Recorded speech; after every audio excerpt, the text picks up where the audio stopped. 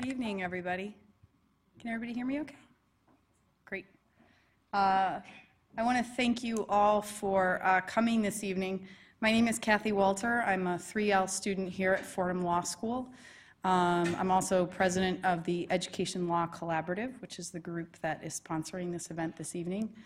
Um, And on a personal note, I'm very excited um, about this speaker, um, Derek Black, who I I don't think needs any introduction based on the conversations I've been having with people as we sign in, uh, but I'll do a brief one anyway. Um, Derek wrote the book Ending Zero Tolerance, The Crisis of Absolute School Discipline. He is a professor of law at the University of South Carolina School of Law and was previously a civil rights attorney. Um, And the personal note that I wanted to bring in is I am also a student advocate here in New York City um, for students that uh, undergo uh, discipline issues, suspensions um, here in the New York City schools. Um, And one of the things, and I was speaking to a few people as we started this evening, um, one of the things that I think is um, I guess a point of frustration is when you're sitting there with a student um, who has committed uh, some infraction at school, and you know that the infraction itself is something that needs to be handled.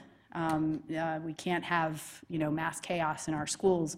On the other hand, when you hear the student's side of the story, uh, you can't help but be drawn into this line of work and wanting to help students um, to be able to advocate in these hearings, uh, often against uh, very uh, high barriers and, and very high odds.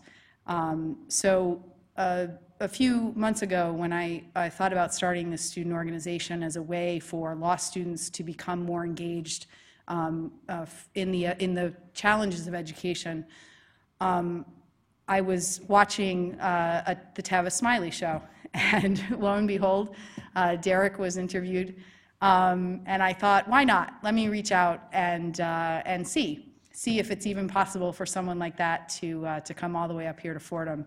And uh, I have to say, I was I was very uh, pleasantly surprised. Uh, he responded back right away with a very gracious uh, ability to come and speak with us here this evening. So I want to uh, really extend a, a heart, heartfelt welcome uh, to Mr. Derek Black and to the presentation for this evening. So thank you all very much.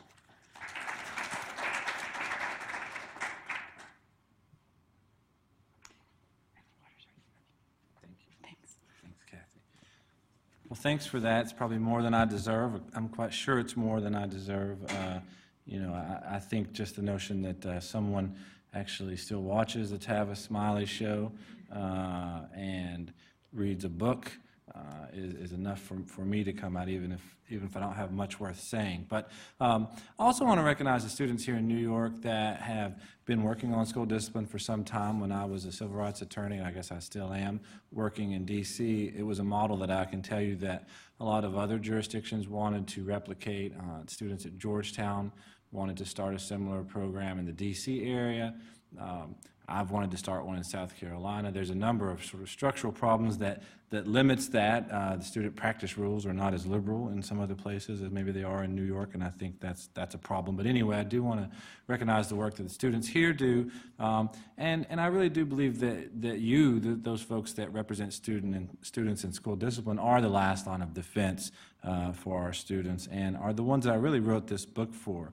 Um, But what I want to do this evening is to, to place all this in context by starting by telling one story uh, the, from the beginning of the book, and then moving you through um, some of the major, I think, uh, fallacies that pervade school discipline, and to talk about a, a couple of potential solutions to that. But let me start with the story that I start the book with, and that's the story of, of Benjamin Ratner who's a middle school boy in Loudoun County, just outside of our nation's capital in Virginia. Uh, and one of his friends came to school on a Monday morning and told him that she had a knife with her and that she was, uh, had been thinking about hurting herself. And this young girl had a history, and, and uh, Benjamin was well aware of it, so he did what any friend would do, and he asked her if he could have it. She said it was in a binder inside her locker. And he went there. He never saw the knife, he never touched the knife. Um, to this day, I, I don't know if he, he, he's ever laid a fingerprint on that knife.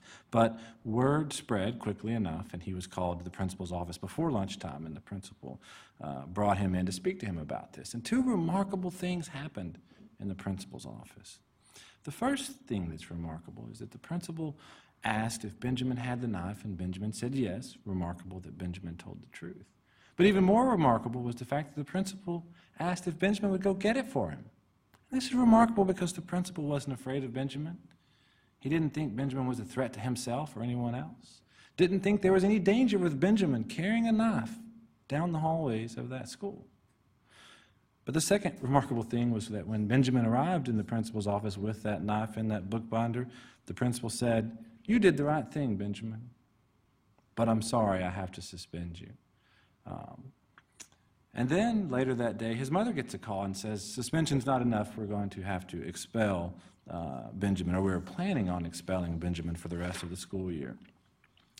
And that, and that simple story, recounted in the Fourth Circuit Court of Appeals and some dusty documents in, in uh, a storage facility somewhere in northern Virginia now, it's quite remarkable to think, how could we get to a place? How could we get to a place when a young person would try to maybe save the life of a peer and be thrown out of public school for it. I think much of that lies in the idea that we must always, always defer to school officials. And it's not my intention, in fact, to take that deference away from them. But I think it matters. It matters to think about where that deference came from, what the rationale was for it, and whether it still stands today. And in the early 1900s, it certainly was the case that our principals and our schoolmasters stood in the place of parents, that they acted uh, in the best interests of children, or at least on behalf of the parents for the children. And thus it made sense for courts to not ask whether the decisions of school principals and school uh, assistant principals were wise. And I don't know whether that story is true. I don't know whether those Principals always act in the best interest of their students, but that was certainly the idea. But there was a tipping point, and that tipping point occurred in the 1960s when I think that things began to drastically change. Because there was a deal struck, in much of the South in particular, that it became clear that school integration was going to occur in places like Alexandria, Virginia, for instance, whether white families wanted it or not. And white families said, we will tolerate integration, but there must be order. Hopefully that doesn't sound new and familiar to you today. Uh, but there must be order if we're going to accept this. And so the deal was that you keep black kids in their place, and we won't fuss too much about school integration. And the result was that as soon as African American and white children began to go to school together, the differential uh, despair, the differential uh, application of school discipline began to occur very quickly. And that's not the story that you hear uh, quite so often when we talk of school desegregation, but if you go back and look at the school, the district court cases, you'll find it. You'll find the fights, and you'll see 40 African American children suspended and expelled, and not a single white children uh, who was involved in the fracas expelled because they didn't know who the white children were. They had told them to go home to avoid the madness. Um, but that story gets lost, right? Sort of whether we are busing or not busing students becomes the primary uh, national narrative. But a new narrative begins in the 1990s, which I think takes it to an entirely different level. And that's the intersection of high profile violence in places like Columbine and the No Child Left Behind acts demand that students and schools achieve at higher levels or, sub, or be subject to sanctions.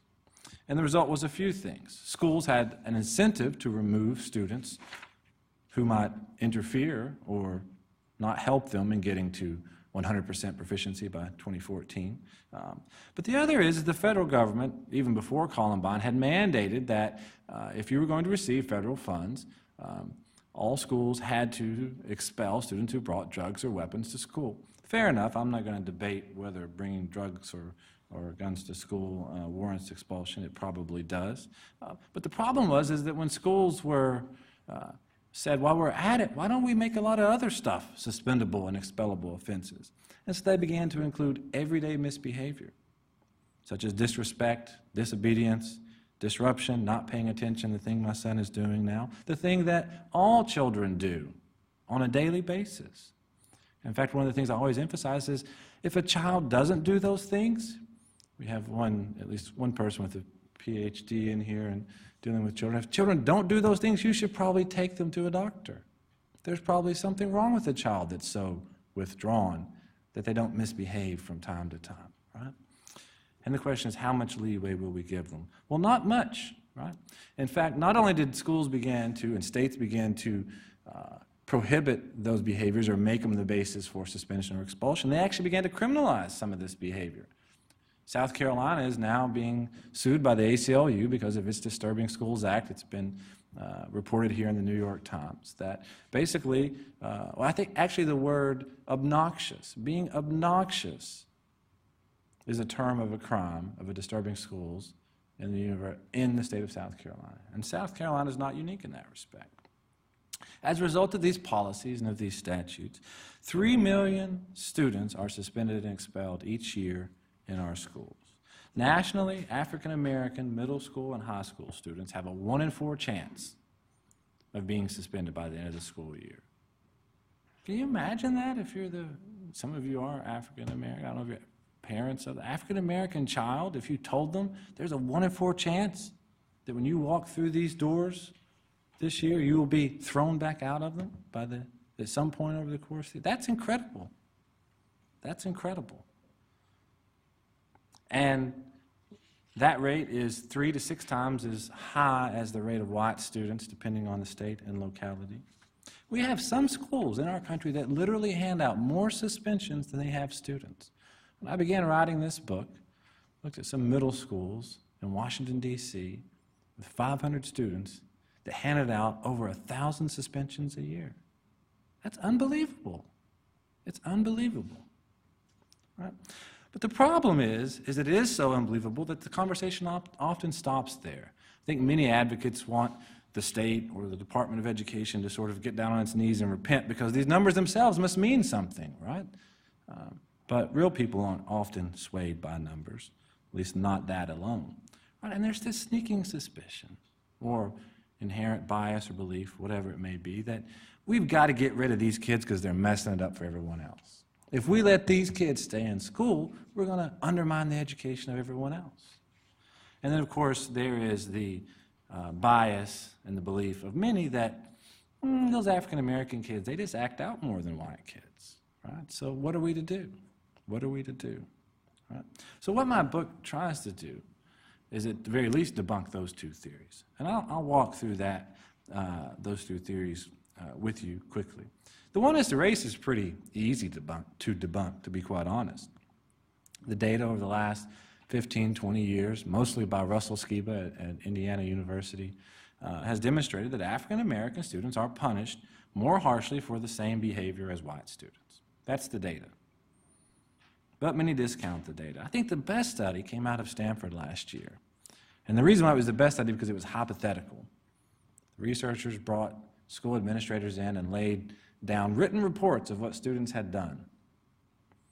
And the only thing that distinguished these written reports were the names on them. And some of the names were suggestively African American, suggestively white. But they did this, had administrators go through these files and tell us, what would you recommend? What would you recommend for this, this disobedience as described here? Uh, and what they found was that in this blind hypothetical, we weren't real students, but it was written reports, that uh, actually the first time a student misbehaved, there really wasn't that much racial bias. Uh, in fact, sometimes African American kids were punished at a lower rate than whites, which is quite interesting. I think is actually a testament to some of the progress of our country. There are a lot of principals and teachers out there who try to check their bias the first time a child misbehaves. But the second time a child misbehaves, the stereotype of the unruly African American child is reconfirmed. Right?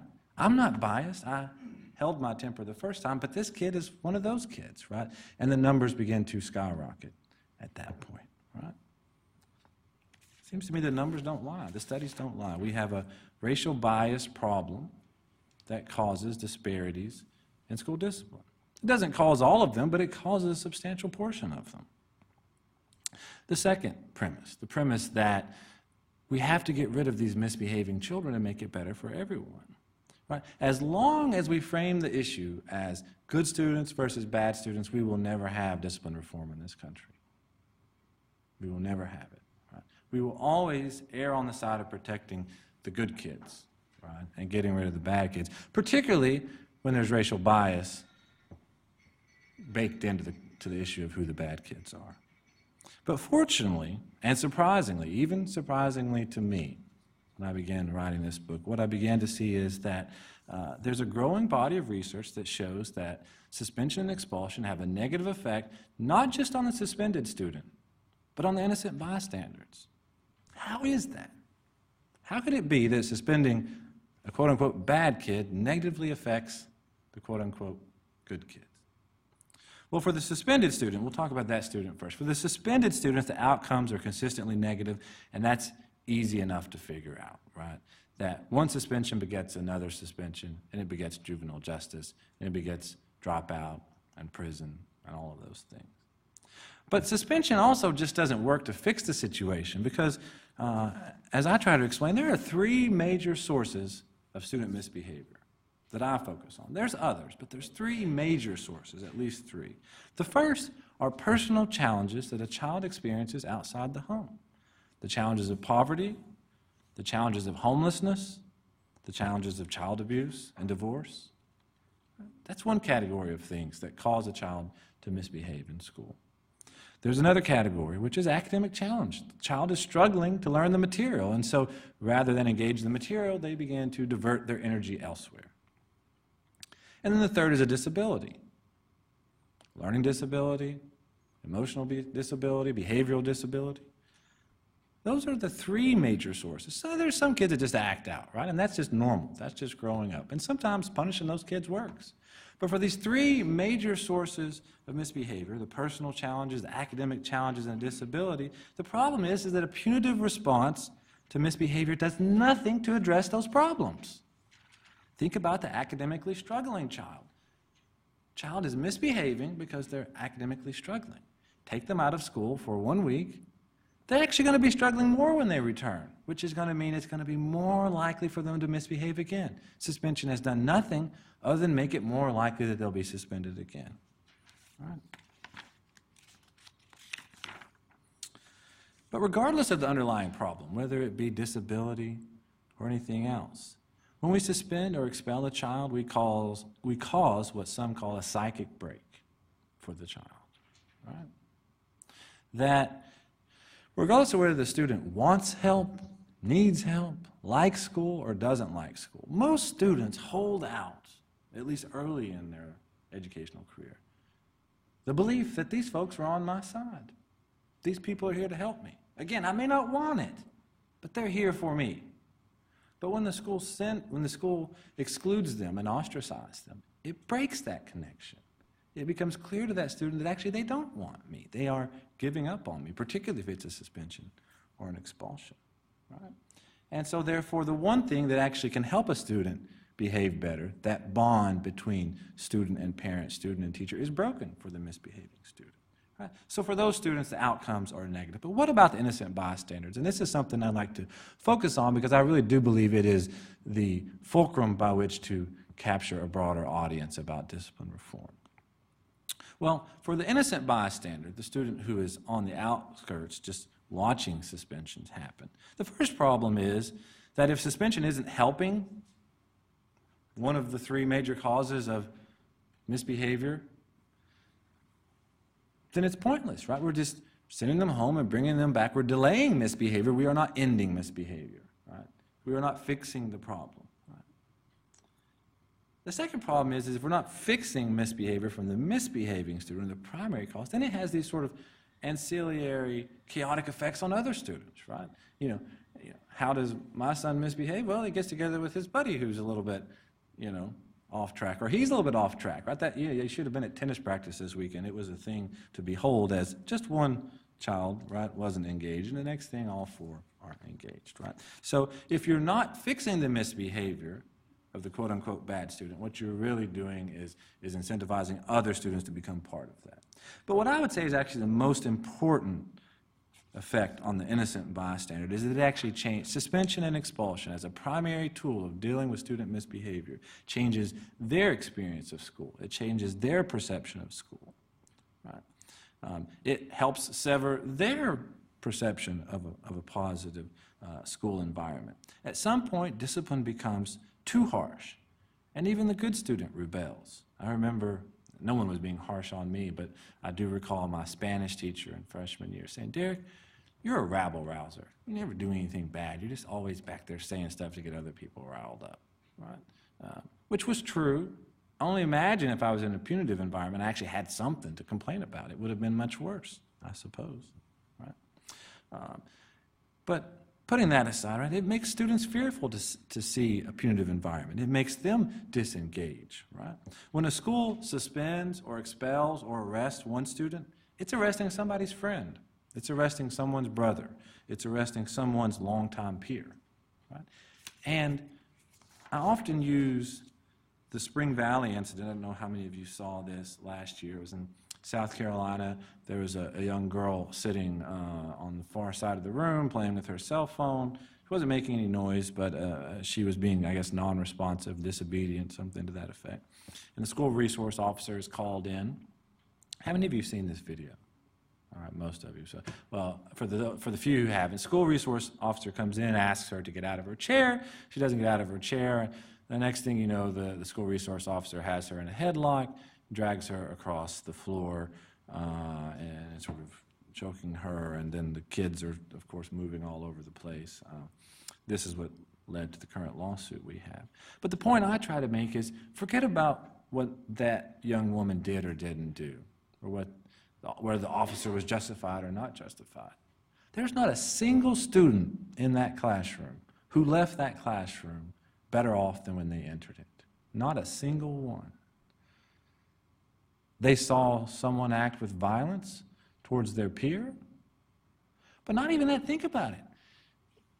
When mommy tells on you to daddy, or daddy tells on you to mommy, whoever the disciplinarian in school is, like, mommy's not off the hook for telling on you, or daddy's not off the hook for, like, they're both in it together, right? And when the school teacher calls a law enforcement officer to come, and that law enforcement officer drags that student out by by his or her head, they're both implicated. And that changes the way every student in that classroom sees that teacher. Fortunately, Spring Valley doesn't see that type of stuff that often. But many of you probably work in schools or have seen schools where it happens far more often. And all students are affected by that type of misbehavior. So, the misbehaved and the well behaved students find their education undermined um, by suspension, expulsion, arrest. And when we understand that interaction and the effects it has on individual students, then the bigger connection to school quality should be obvious to us. It explains why, if we compare apples to apples, schools that deal with misbehavior through means other than suspension and expulsion have higher student achievement than schools that use suspension and expulsion as the primary tool. National and state level studies have shown that the suspension rate in schools correlate with student achievement in those schools. It shows why we cannot suspend and expel our way out of discipline problems. And it's a central thesis of my book that this data, that these stories, that this social science shows that school quality and school discipline are inherently intertwined. You cannot have school quality without a positive discipline system. You cannot have a good discipline system without a good school quality curriculum and supports. The two are intertwined. But when we separate them, which we most often do when talking about these issues, we miss a central aspect of school improvement and school reform. Well, that's enough social science. Let me tell you a little bit about the work that many of the students here and other places and advocates have have done, which is sort of the legal side of, of, of my book. Compare uh, the world before Goss versus Lopez and the world after Goss, Goss versus Lopez. In the early 70s, Supreme Court of the United States and Goss versus Lopez said that students are entitled to due process before they are suspended or expelled. Before the Supreme Court ever issued those words, students who filed a lawsuit challenging, challenging a suspension or expulsion had a 50-50 chance of winning in court. Ever since the court decided Goss versus Lopez, their chances have gone down almost every year. As somehow, though, the Supreme Court had fixed it by declaring that students are entitled to due process, and therefore any student who files a suit later must be complaining of some trivial matter. By 1993, the student's chance of reversing or winning a discipline claim in court, state or federal, was 1 in 10, right? which is remarkably low when we go back to the story I was telling you about zero tolerance. We've seen suspension and expulsion skyrocket, and chances of winning go into the, go into the lowest levels we could find. The only cases that you can manage to win nowadays are procedural victories or political ones. You can win in the court of public opinion and get a, get a school board member who wants to run for reelection to do something different. But save that, the only wins you find are those based on procedural matters. Right? So long as a school checks the box and says, I have told that student what he or she did, and I have given them a chance to respond. So long as they have done that, there is almost no chance that a student will have his or her suspension or expulsion reversed. reversed. And for the most part, courts just don't take it seriously anymore. Benjamin Ratner, the boy I told you about earlier, the middle school student in Loudoun, Virginia, who tried to act to save what he thought was saving his friend's life. He filed his lawsuit end of July, end of June, and on July 5th, the school district filed its motion to dismiss. So July 5th, motion to dismiss. Benjamin Ratner responded 13 days later. The school district then responded to that seven days later, and three days, three days after the district's final response, the federal district court for the Northern District of Virginia dismissed his case.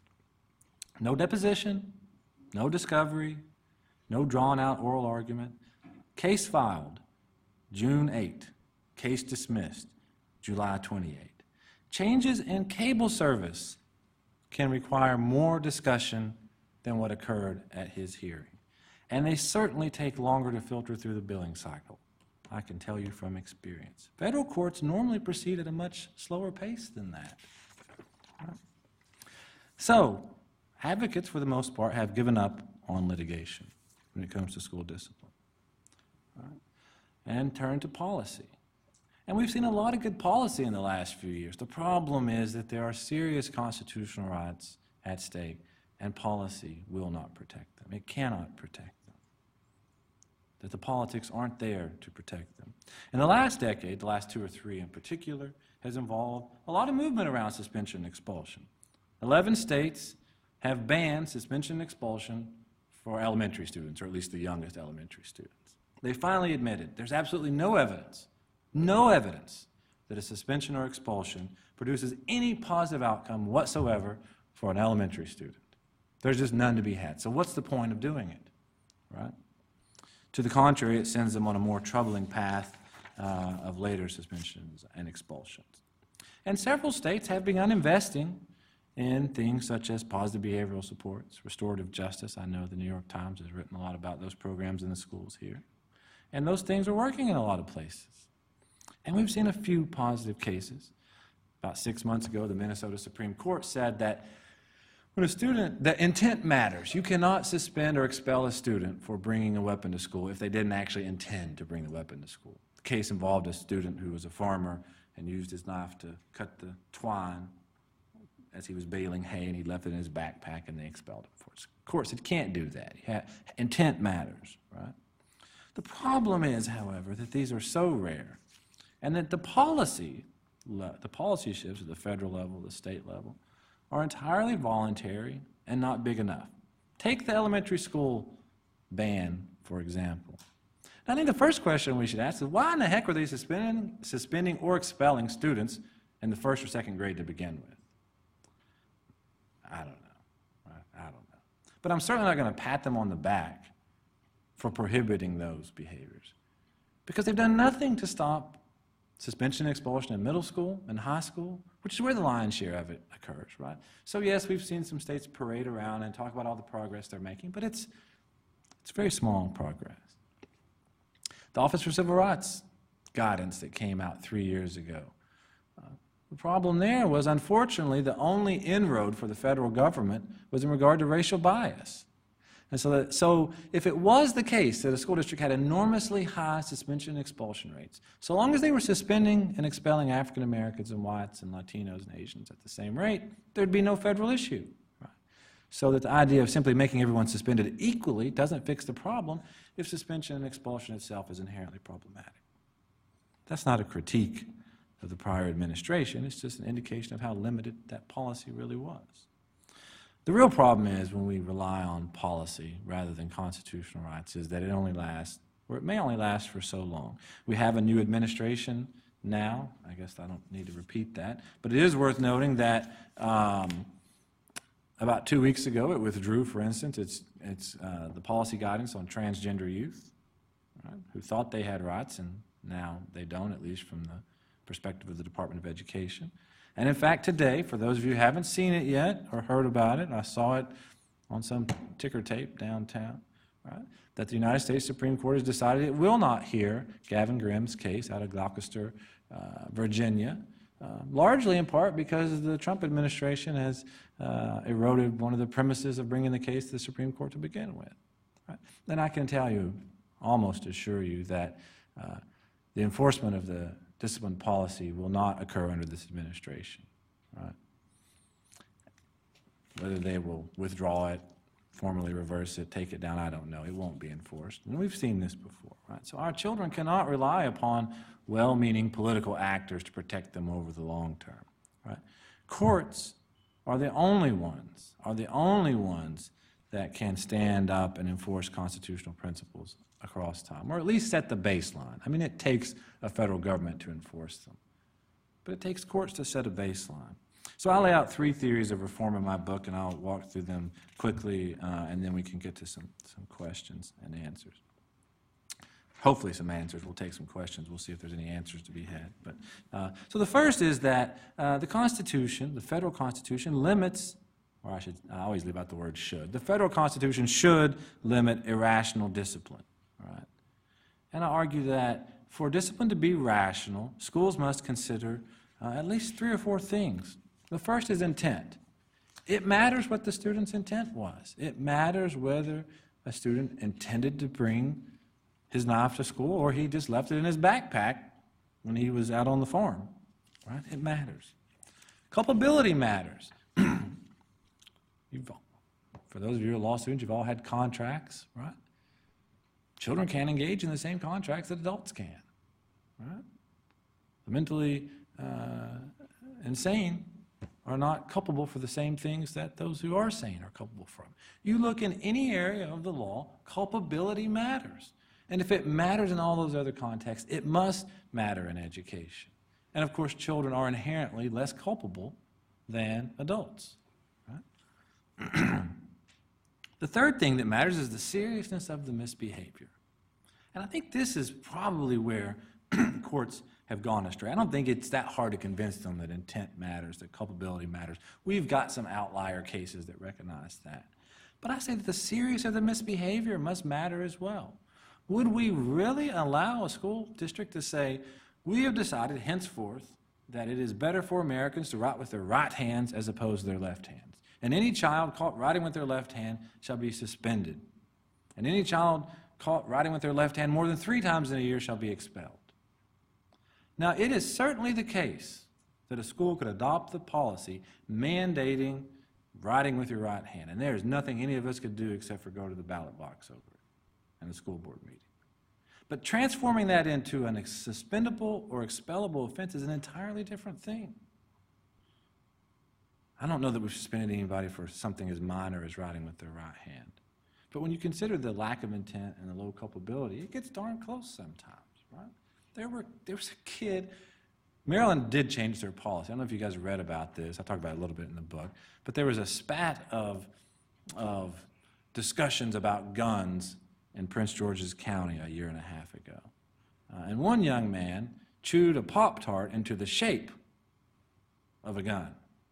And he got suspended for that. Now, there, there was some back and forth this past year saying, well, he's a troubled kid and he'd been doing lots of stuff and you don't know all the other stuff he had done. And that's fine. But certainly chewing a Pop Tart into the shape of a gun is not the straw that breaks the camel's back. At least it seems to me, right? Circumstances matter. That if you have school discipline policies that ignore intent, that ignore culpability, that ignore the seriousness of the misbehavior, and ignore the circumstances of the so-called crime or misbehavior, then it's irrational. There's no other place in the law that we would ignore all four of those things. The second theory of my book is that because there is a constitutional right to education at stake, the state must have a good reason for taking it away. And on this point, I draw on school finance litigation and over half the states that have recognized that either the state has a constitutional duty to provide an education or that students have a fundamental right to an education. And so I argue, look, you know, apply simple, strict scrutiny or even intermediate scrutiny, right? The state has to have a good reason for taking away constitutional rights. When Goss versus Lopez was decided, education had not been declared a fundamental right or a constitutional right in state courts.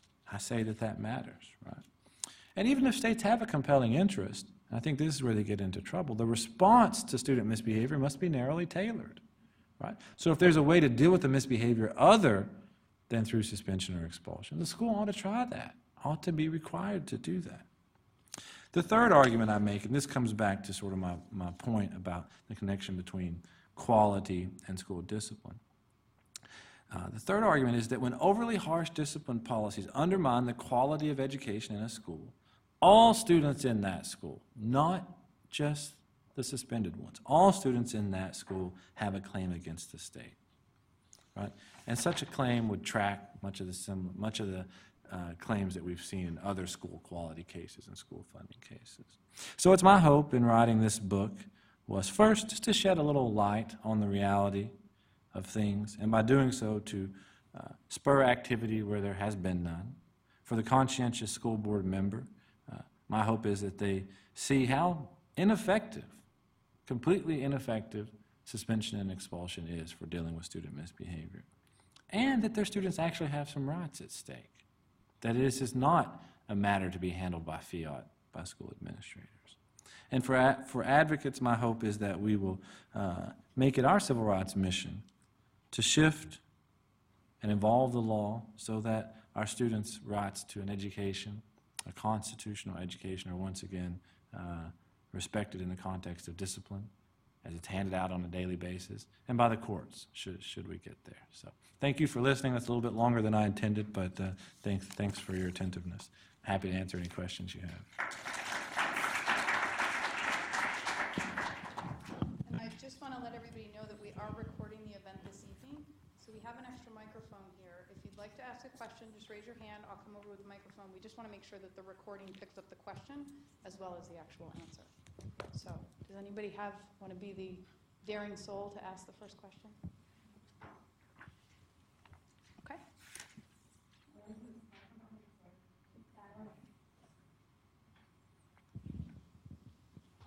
Thank you. Hi.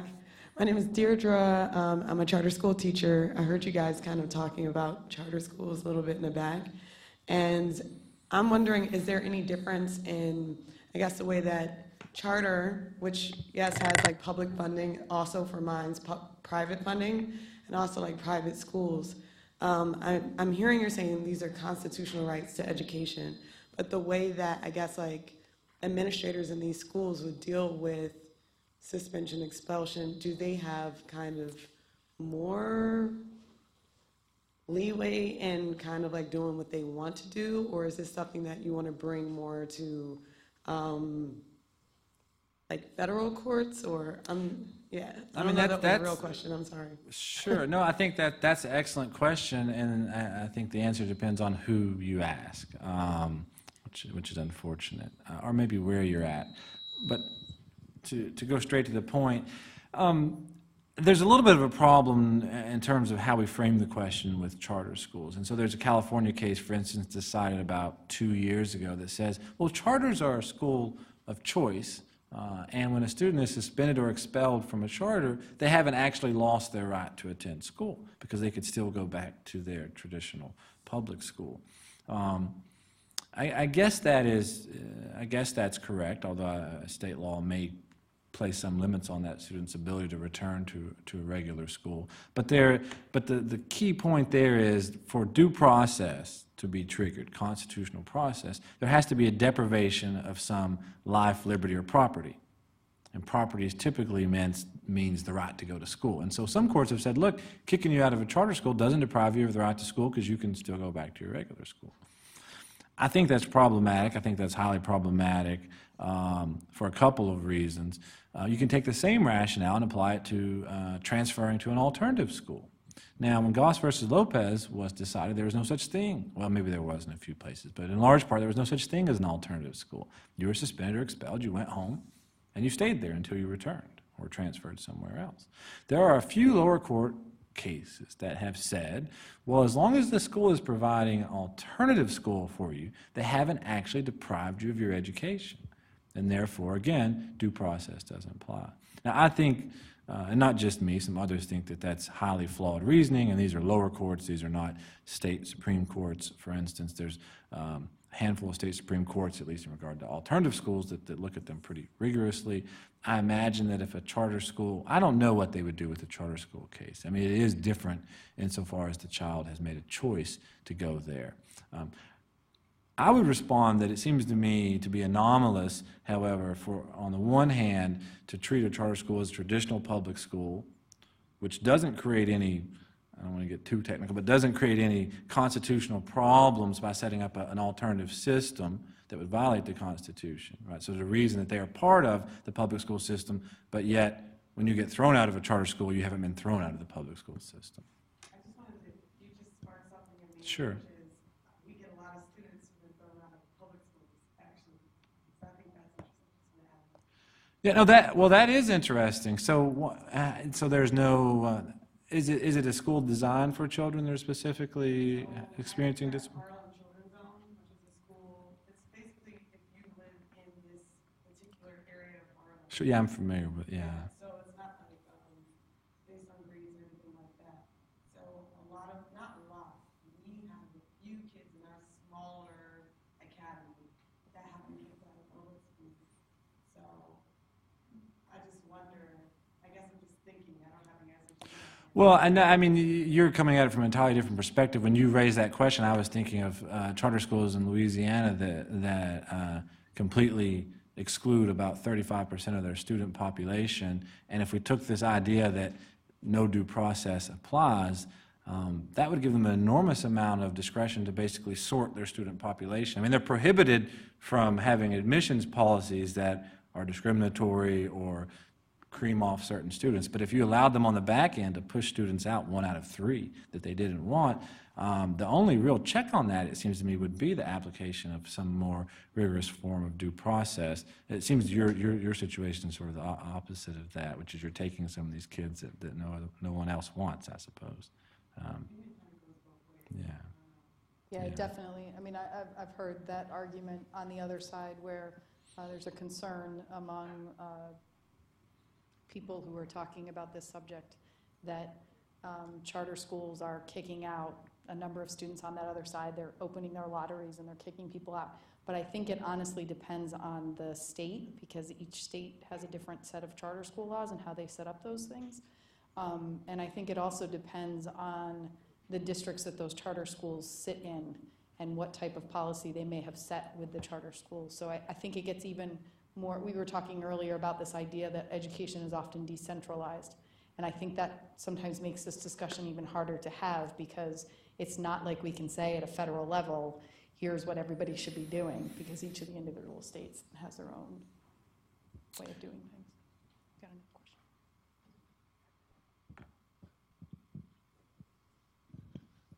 Hi, um, my name is Janan. I'm a 2L student, and I'm actually working on a project related to restorative justice at the moment, so I was very excited for this talk. Um, I'm going to summarize what I think one of your arguments is and then ask you a question about it. So if I've misunderstood you, please correct me. Um, I believe that I can summarize part of your argument as that school discipline should have a rational basis and that four criteria that you've identified for what could be part of a rationally designed school discipline would be student intent, student culpability, the seriousness of the misbehavior, and the circumstances of the misbehavior. And I'm wondering why you did not include in a rational discipline um, the educational value of the applied punishment or treatment. That's a good question. I guess what you really belie is my belief, uh, which I think is, is founded in, in the social sciences. There is no value to be had of suspending uh, or expelling a student unless what we have is a situation where they actually are posing a risk to themselves or others in the school environment. Um, And so I think that intent, circumstances, culpability help us distinguish between the student who actually presents a danger or doesn't present a danger to him or herself in the overall school environment.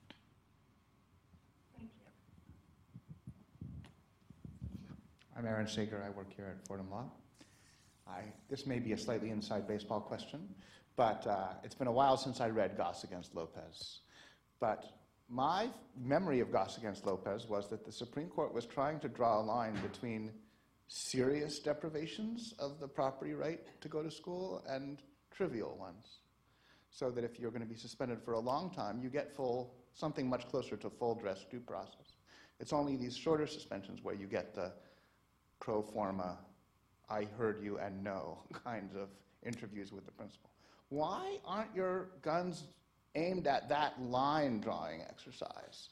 And why aren't you out there pushing that, which seems much more of a straightforward legal theory, that they just drew the line in the wrong place, and that since suspensions are not effective and don't work, the line should be at suspension rather than, it's, than at suspension for 10 days while leaving Goss in place for restorative justice and after-school detention and banging the erasers and whatever, whatever the professionals in the room know, what else they do these days that is not as destructive. That just seems easier and straightforward and less of a break with current law, and that it would do most of what you want it to do. So I'm curious why it hasn't. Yeah, I- That's, that's a very uh, insightful question, not, not, in- not insider baseball. I think the answer to that, I think when I first began looking at this subject, I thought, let's get some more process. Let's, let, that's what lawyers do, make the process more rigorous. Let's get some more cross-examination in there. Let's have some transcripts, and then we can appeal it and file. And, you know, the- the more I, I, I thought about it and looked at it was that more process will not fix this problem. Um, and I'm, I'm blanking on the scholar's name, but she was writing not in an education context, but sort of one of the way that she framed it is that process, exorbitant process, is the thing that actually lets the king do whatever the king wants. Because the more process we give, the more legitimacy we give to the punishment, right?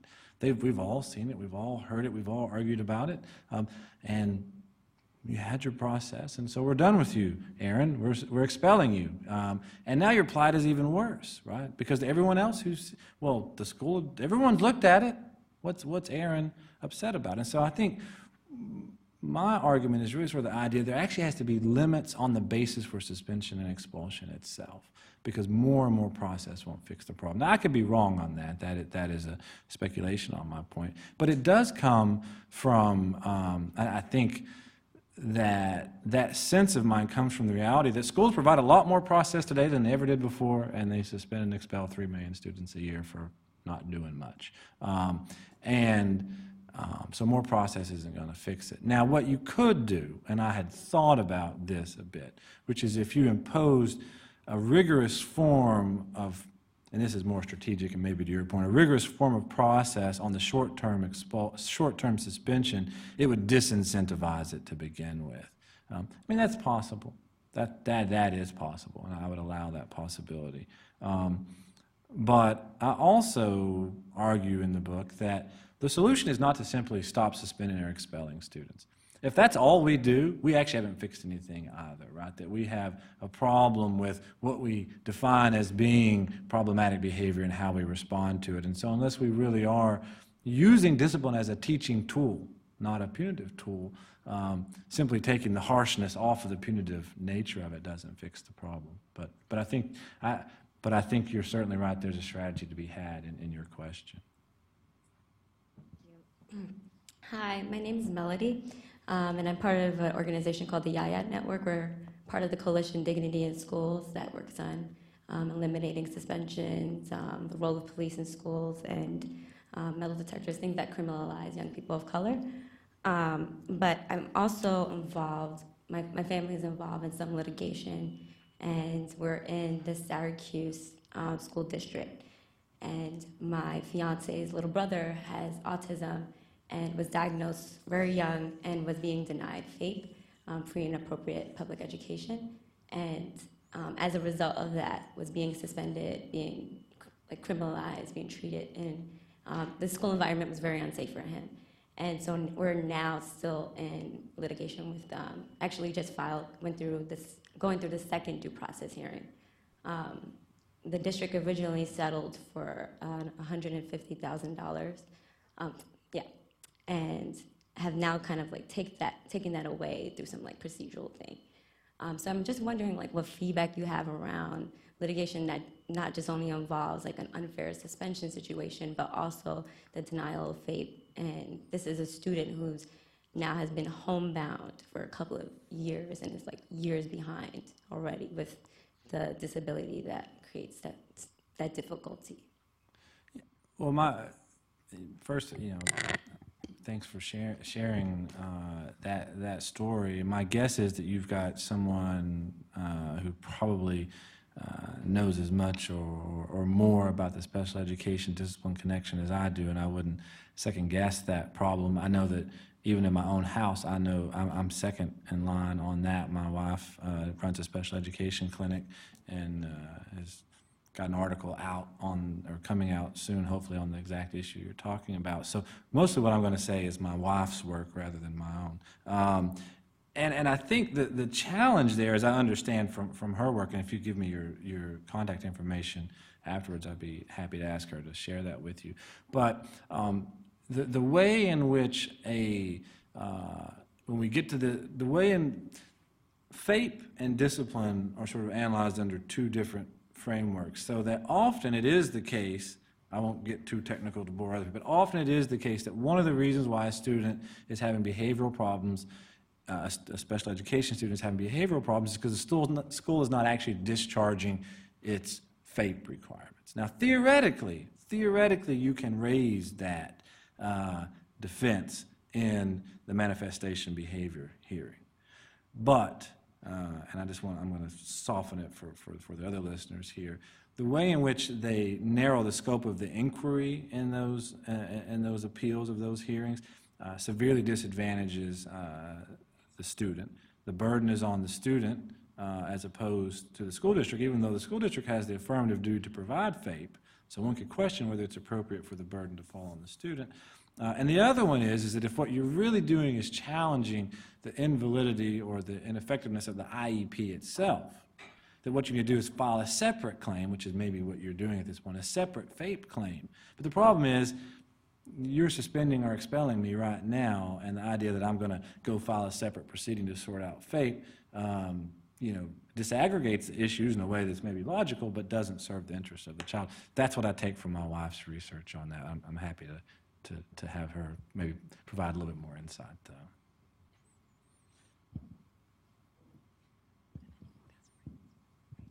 Hi. Um, so, given speaking to the idea that education is very decentralized and depends on individual states and individual school administrations and school staff, um, I'm just curious what your thoughts and experiences are on equipping marginalized students and families with the tools and information they need to advocate for themselves when a situation arises. How do they know what kinds of policies their district or their state has in place and what steps they have a right to take? and things like that. So, kind of from the family and student side. Yeah, so I, uh, when I was the Lawyers Committee for Civil Rights, I started a program called PREP, Parental Readiness Empowerment Program, I think it was. And so uh, that was mostly what we did was try to inform parents about special education and discipline so that they could protect those rights in school. Um, that program, I'm not involved with it anymore, but it's still ongoing. I'm, hopefully there's some here in, in, in New York, but it, you know, I think that those type of programs are important. Um, I, I'm always, a, it's always important for people to have knowledge, but I'm also worried about um, people who sometimes find a way to leverage that knowledge in a way that doesn't work so well. So there was a gentleman one time in in, uh, in Georgia that we had worked with, and uh, he was really passionate about this issue, and he determined that the best way to keep students from getting um, uh, suspended or expelled was to go to their hearing and claim they had a disability and try to get a, a special education proceeding started. He had no basis for knowing one way or another. He was right that as a matter of strategy, that would slow it down, but I'm not sure that that got the right, well, I don't know. It's hard for me to sit here and second guess, you know. But, um, but there is this sort of, there is a, unfortunately, particularly with special education, I mean, she asked a question that I myself couldn't even fully answer quickly and easily. And so when you get into special education, it gets so technical. The idea that we would leave, uh, you know, parents to, to their own there is difficult. And then, you know, in the context of, of school discipline, you know, with marginalized communities, what I've seen uh, lots of times is that the discipline of the student actually leads to a problem for the parents as well because these parents may not have had a good relationship with the schools themselves when they were there. They're now upset that they see their children being sent that way. So it is not unusual, in my experience, to see a parent ending up with a uh, restraining order on them because of their attempt to uh, advocate for their children. Uh, particularly, you know, communities of colors that, that try to advocate for themselves. And so I think it's important for them to have that knowledge. I think it'd be a mistake to think that, that, um, that the powers that be are, are necessarily responsive to, to that knowledge. One thing I can tell you about the New York City schools, um, for better or worse, when a student is suspended, they're given a sheet of paper that tells them all the organizations they can call. Um, and one of the student organizations is the is an organization that I advocate with. Um, but I think oftentimes even just the local legal aid will I've I've seen it coming up where they're now um, they they typically call them education lawyers. And their, their main uh, objective is to help students in their suspension hearings. Usually students that have pretty severe ones, but they're oftentimes will have the type of education programs that you're referring to that might give a little bit more information. But I can also tell you, I've seen parents representing their kids in the hearings, and, and exactly that happens. You know, they come screaming out of the room, or they get really fired up before the hearing. So sometimes just having somebody else in the room who can have that conversation and can be that advocate and someone who's experienced doing that can go a long way to making sure that conversation doesn't get more heated than it has to. So it has its other downsides, but it has that benefit too. Thank you so much for pooling the research and your own thoughts and writing this book, which is so important in helping people who are not trying to take an alternative perspective on suspension and expulsion to look at it in another way. And I thought it was very um, spot on the three major sources of, of um, misbehavior um, personal challenges, academic challenges, and disability. And the way that you talked about the bonds that are broken by suspension and expulsion. Because it helped, although your research, I haven't, I haven't read your book yet, but I have it now, start tonight. Um, although your research, I'm assuming, is focused on black and white students, um, this helps us to look at it deeper from the perspective of just do we view students as human beings anymore?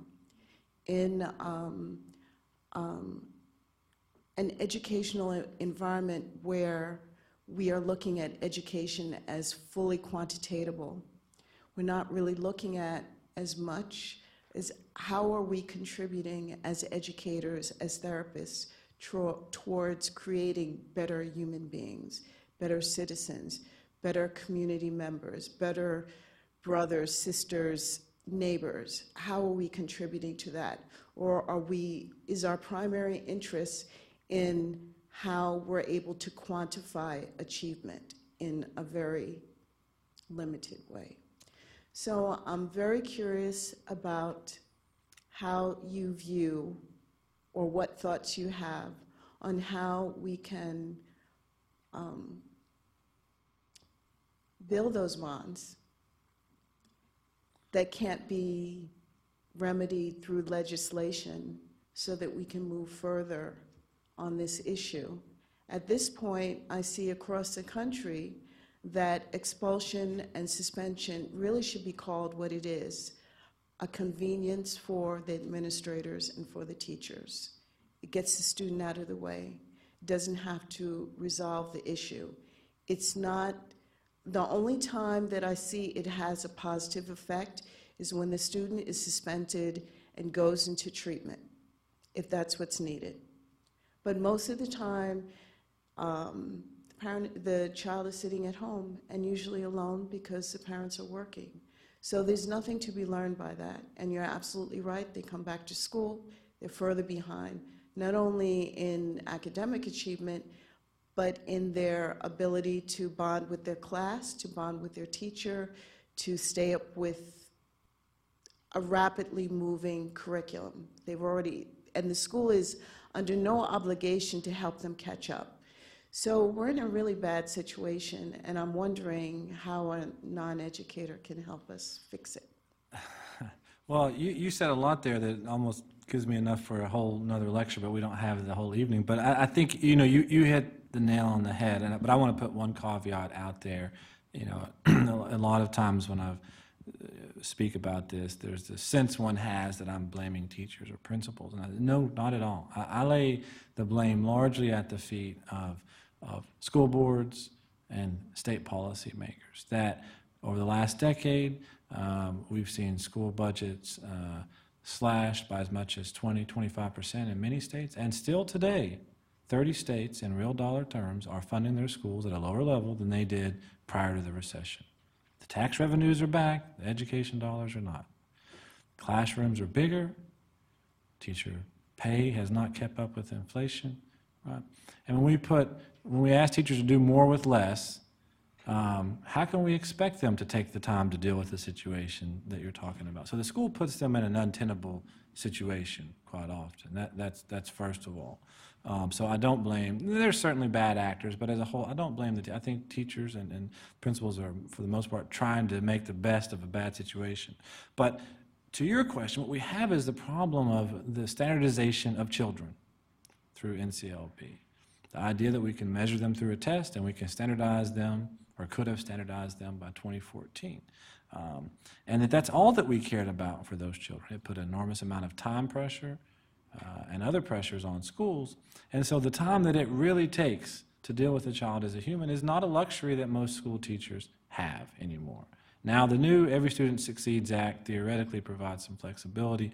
The states can move in the other direction, and maybe some will. In fact, discipline is one of the factors that you can use to rank yourself on the new Every Student Succeeds Act. So there maybe is some movement there.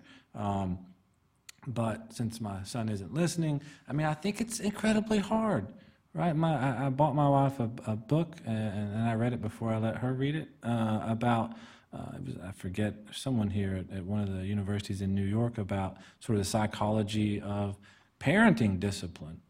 And um, how, and I think it goes to your part about humanity. Hopefully, we treat all of our own children as humans. And if that's really what you're doing, if that's really the goal, then actually, rule number one is never make a decision about punishment quickly. Never.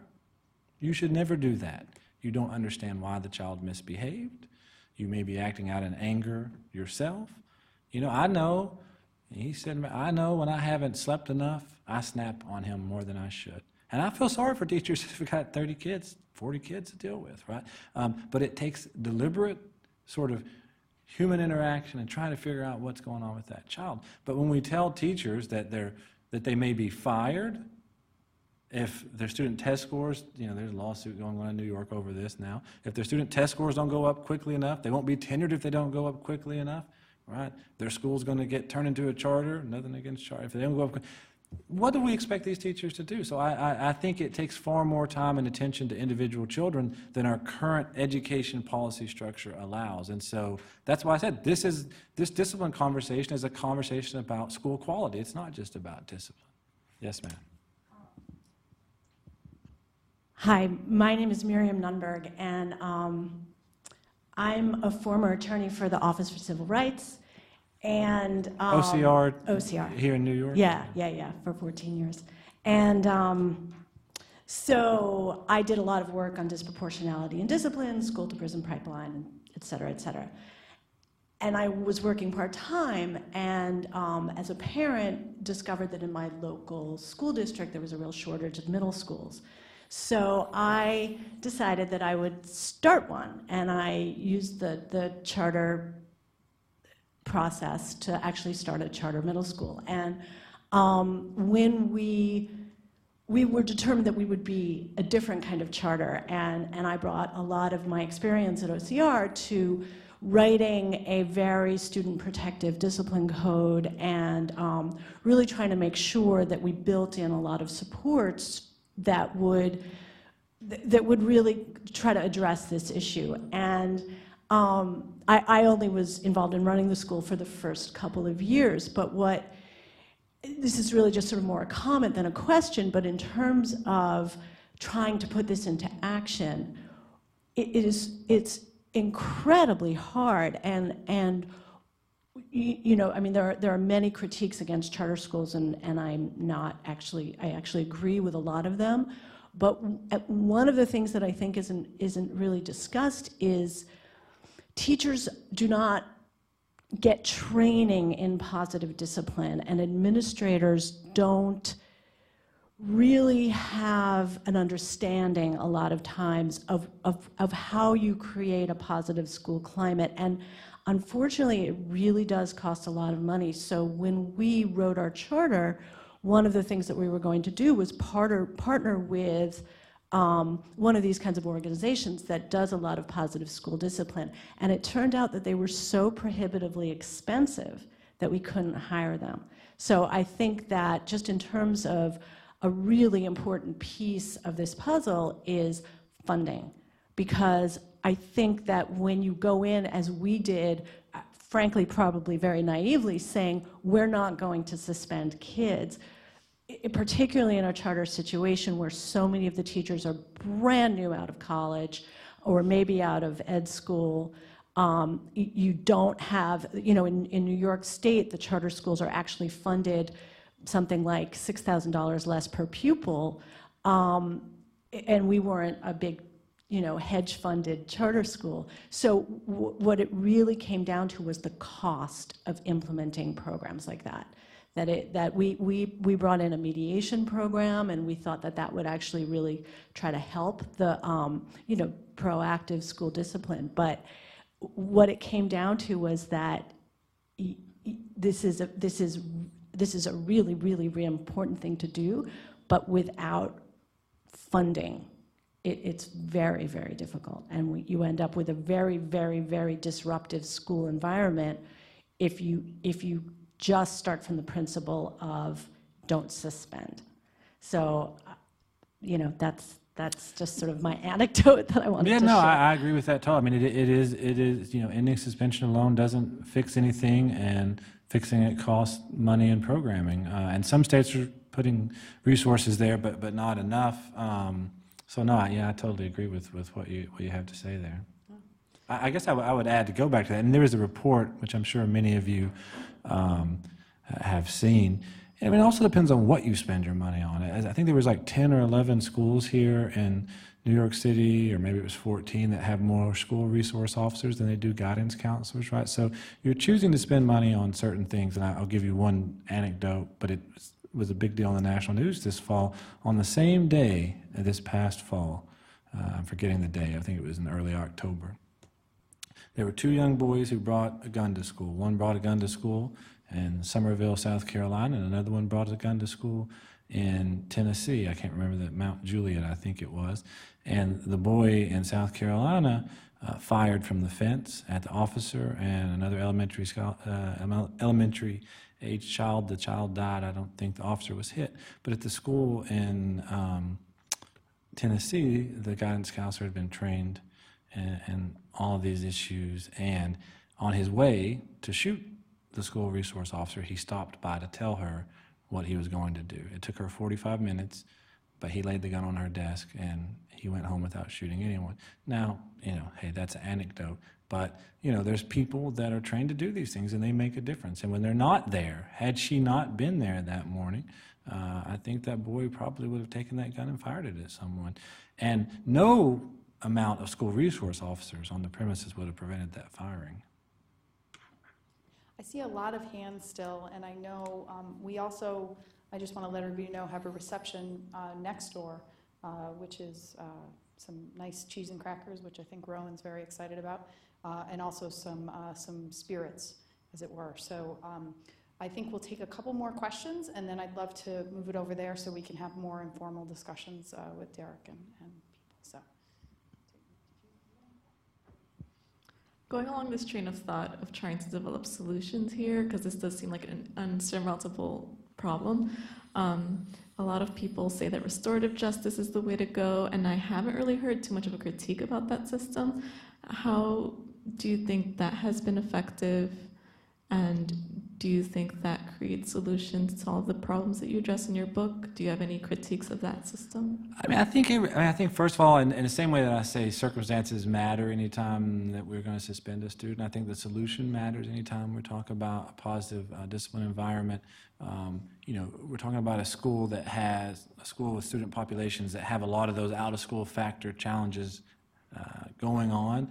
That sort of step number one is to try to address some of those other problems with counseling. You're not going to make these kids not poor, right? You're not going to take away a divorce, but having counselors there, you know, forget positive behavior, forget all that fancy stuff. Like someone that that child can can can communicate with is important. Um, you know, there's other schools that have you know very uh, lower incidence of those problems. So I do think it's going to vary uh, from place to place. I guess I would just, for the sake of time, point you to, to Jason Nance at the University of Florida. He's really been doing comprehensive work on this for the ABA.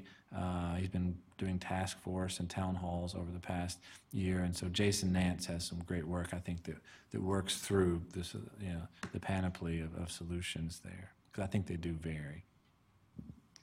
Take these two questions here, and then we'll close out.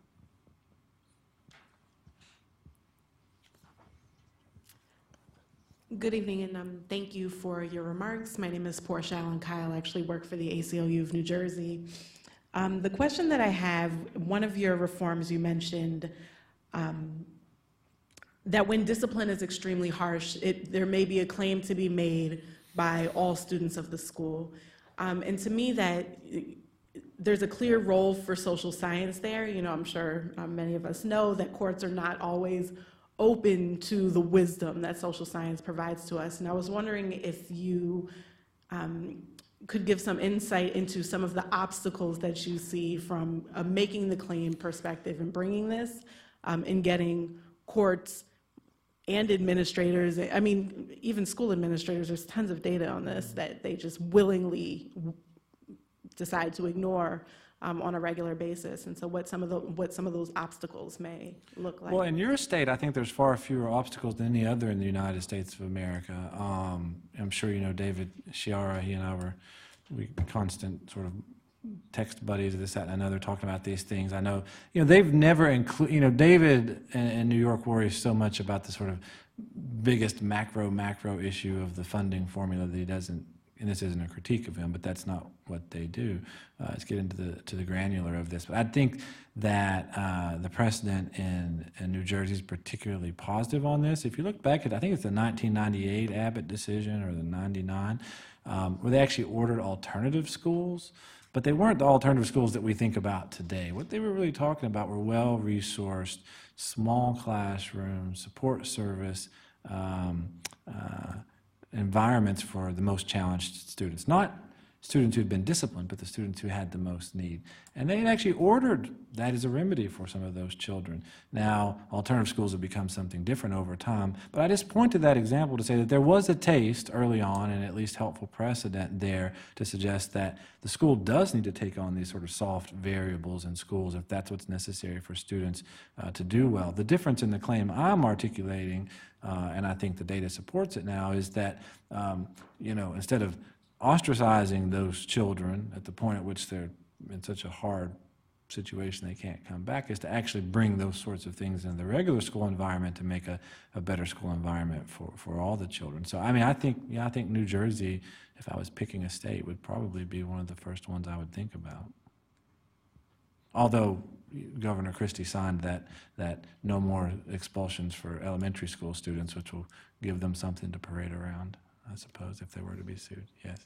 Hi, this is an actual perfect segue into my question because my question for you and I may have missed this before I walked in, but you mentioned that the Minnesota Supreme Court has a really positive case in the books, and of course, New Jersey uh, has some helpful precedent for this issue. Um, but I'm wondering which states have the worst precedent, in your opinion, and which ones are um, the most problematic in regards to policy. Well, there's about there's about 23 states that have never recognized any sort of positive education right at all. So, uh, Florida, Georgia, Illinois. Um, I won't, I won't go through them all. So there's there's a handful of them. But what we have are other ones are in a more moderate position. They've got a positive decision, but could you really leverage it for much of anything? I think South Carolina is one of those states that has a positive education constitutional decision on the books, it'd be pretty darn hard, I think, at this point to, to leverage it. They can't even get their school funding claim fully adjudicated. Um, New York had some state court, and I never actually relocated them for this book. I meant to go back and look at them. There were some claims, not school quality claims, but individual student claims that said, I have a constitutional right see you know, the Constitution, and therefore you ought to meet higher scrutiny. And um, the lower courts had rejected that. That case, I don't, I don't think any of that ever got to a higher court there. And I think those case, cases may have pre- predated CFE. Um, so, in any event, I mean, without without sitting down and thinking through them all, I think that you know, New York is better than most, but not great. I think New Jersey is really great. South Carolina really stinks. Uh, you know, Florida is non-existent. Uh, you know, so it, it, it is a it, it is a, and so you know that that that's what I would say. yeah. Uh, I'd love everyone to join me in thanking uh, Derek Black for being here this evening. And I also want to give everybody else a hand. I think the questions and the, and the sharing was really, uh, really enhanced uh, the whole discussion, so thank you. Thank Um, you. Just a couple of uh, uh, um, points uh, before we depart for next door. Um, If you are an attorney or an educator, um, and you'd like to get continuing ed credits for this, I just have to, there's a couple of formal things we have to go through. So don't run over there before you come and see us in the back um, to check off those points.